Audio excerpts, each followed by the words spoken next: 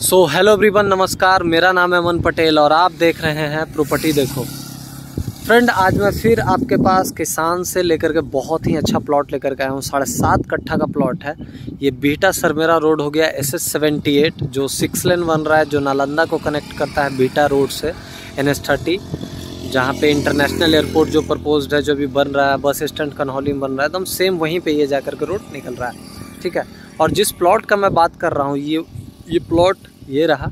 ये हाईवे यहाँ पे समाप्त हो जा रहा है, जो वाइट कलर का जो ये बना हुआ है, उसके बाद जो पूरा ईंटा से जो बाउंड्री किया हुआ है, ये ही पूरा साढ़े सात कट्ठे का प्लॉट है। ठीक है, दम ऑन हाईवे है और देख सकते हैं कि जिसका फ्रंट और डेप्थ काफ़ी बढ़िया है। आप देख रहे हो कि ये हाईवे रहा और हाईवे से एकदम नज़दीक में तो और इसका मैं रेट का मैं बात करूँ तो 45 लाख रुपए कट्ठा इसका रेट है। जो नंबर शो हो रहा होगा।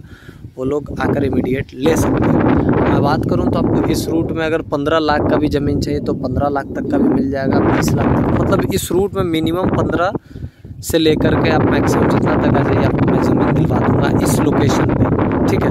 और मैं बात करूँ तो आप सभी के लिए इस रूट में हर लोकेशन में मैं इन्वेस्टमेंट प्लॉट ला रहा हूँ, जो हर लोगों का रिक्वायरमेंट रहता है। और इस रूट में बहुत सारे लोग का डिमांड था, इसीलिए मैं इस रूट में आप सभी के लिए प्लॉट लेकर के आया हूँ। आप देख सकते हैं कि इधर काम भी है जो ज़ोर शोर से चल रहा है। इधर आप बढ़ जाइएगा तो नौबतपुर रिंग रोड आ जाता है। ज़्यादा दूर नहीं यहाँ से नौबतपुर रिंग रोड, मैक्सिमम यहाँ से डेढ़ से दो किलोमीटर के डिस्टेंस पे है नौबतपुर रिंग रोड। और इधर आप चल जाइएगा तो कन्हौली कन्हौली जो न्यू बस स्टैंड बन रहा है। और हाँ बात यहाँ पे ये है कि यहाँ से आप गया वाला रूट भी पकड़ सकते हैं, बेलदारी चक होते हुए जो आई है।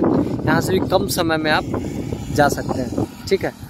तो जो लोग भी इंटरेस्टेड हैं इमीडिएट कॉल करें स्क्रीन पे नंबर शो हो रहा होगा और जो लोग भी चाहते हैं अपना प्लॉट या फिर फ्लैट सेल करवाना या फिर घर, वो हमसे कांटेक्ट कर सकते हैं। तो चलिए मिलते हैं नेक्स्ट वीडियो में। आपका दिन शुभ हो। धन्यवाद।